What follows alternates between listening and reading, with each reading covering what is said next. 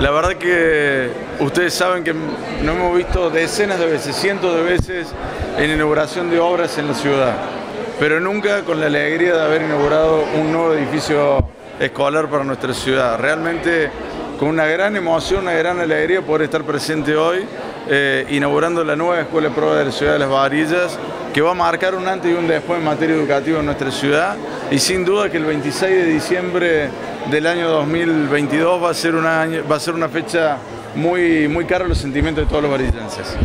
Eh, bueno, eh, hablabas recién en tu discurso acerca de que ya se viene en 2024 la primera promoción.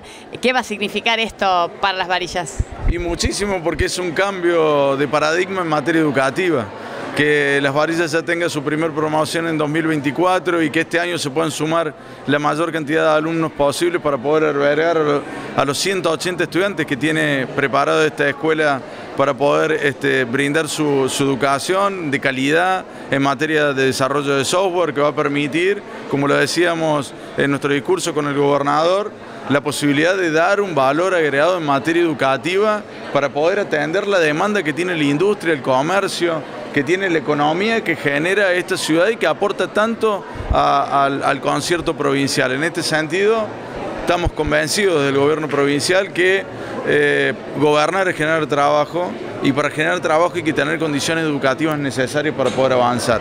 Y hoy la inauguración de la Escuela Proa es eso, es un signo de lo que significa este nuevo tiempo en materia educativa para dar valor agregado a la generación de empleo en nuestra provincia. No perder el eje de la educación y las nuevas tecnologías. Por supuesto.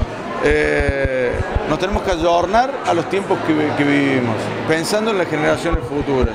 De eso se trata gobernar, como decía eh, Juan Eschiaretti recién, digamos, estar, eh, la educación es lo que nos permite eh, hacernos libres, ser libres, este, dar la posibilidad de la movilidad social ascendente para cada uno de los pueblos, la generación de empleo y en eso es lo que vamos a trabajar de manera permanente.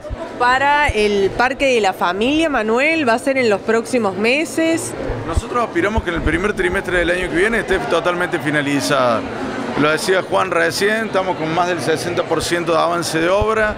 Esperamos que esa, esta obra, que va a ser un nuevo punto de encuentro para la ciudad de Las Varillas, que nos habíamos comprometido en la campaña electoral, pueda tener las condiciones adecuadas. Fíjense, la escuela proa en comunicación con lo que es el centro cívico hacia, hacia el norte de la ciudad, hacia el sur, la continuación del Parque de la Familia, cruzando el Parque de la Familia, el nuevo edificio de tribunales de la ciudad de Las Varillas que estamos pronto a comenzar a ejecutar. Por lo tanto, ustedes ven que la cantidad de obras que hemos llevado adelante en la ciudad tiene como principal objetivo cumplir los deseos y las necesidades que tienen cada uno de los habitantes de la ciudad.